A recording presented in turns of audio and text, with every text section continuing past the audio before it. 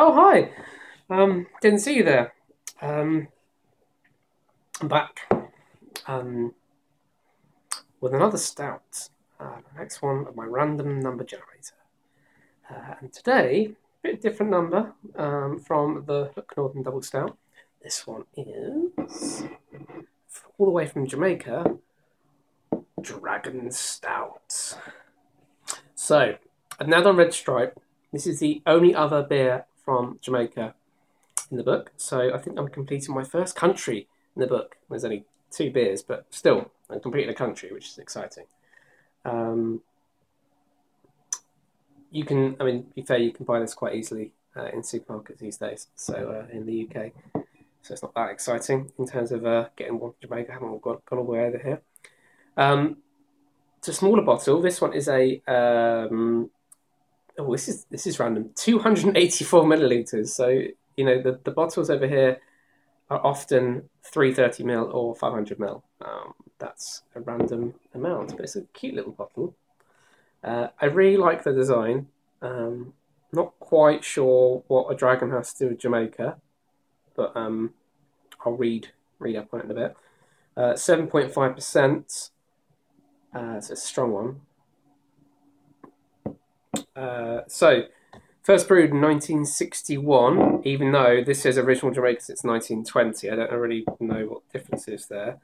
Um, so I'm seeing what this is anything about it being called. A, why is it called Dragon? Um, ah, so it's brewed by the same people as Red Stripe, or was at some point. Um, doesn't say why it's called Dragon.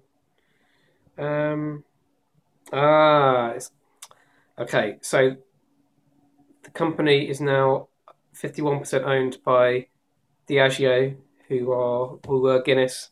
So it's now gone out to a wider market than Jamaica. Uh, tasting notes in the glass. This beer appears to be a very dark brown with a slight red tinge and a thin beige head. The aroma of molasses, love molasses, instantly hits the nose and the palate is overwhelmed with a sweet dark chocolate and caramel flavour. It goes surprisingly well with a good chocolate ice cream. Wow, who knew? So, let's give this a go, shall we? Got my glass here. I've got my glass, uh, 2014 Great British Beer Festival. That's um, going on at the moment. Let's open this up. Okay. Not much on the nose from the from the bottle itself, but let's go into the pour. It's quite fizzy, I must say. Quite used to start being fizzy. Not bottle conditioned.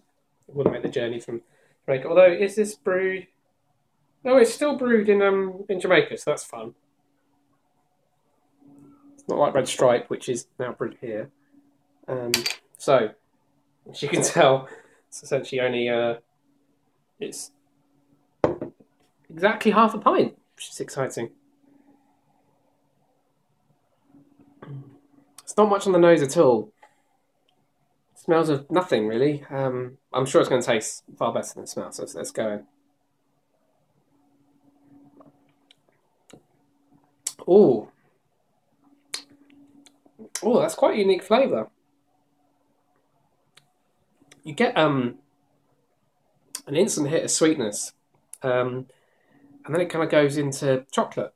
So you can taste the sort of the molasses. Let's go for that again.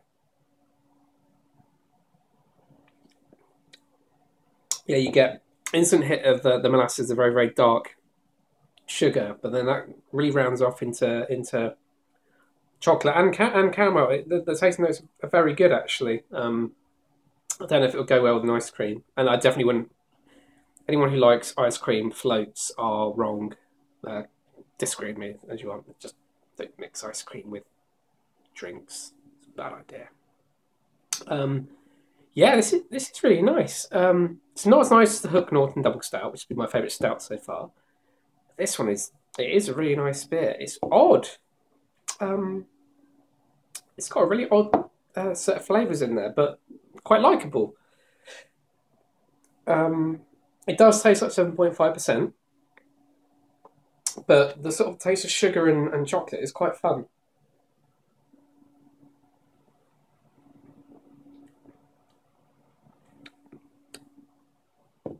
Yeah, it's um, I wouldn't want more than the half. I must say this the the, the bottle size is appropriate. Um, I think I'd get a headache if I if I drank a whole pint of this because uh, it's really sweet really, really, really sweet. It would go well with with ice cream on the side, um, but it's uh, an incredibly sweet beer.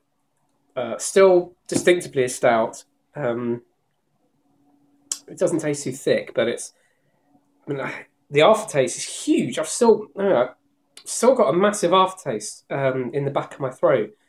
Um, I can still sort of taste that kind of caramel and chocolate. Um, this would be a really good winter beer, which is kind of ridiculous because obviously it's from Jamaica, which uh, you know I imagine doesn't get this. You know, I don't know. I've never been to Jamaica, but I imagine it doesn't get as cold as it does in Britain.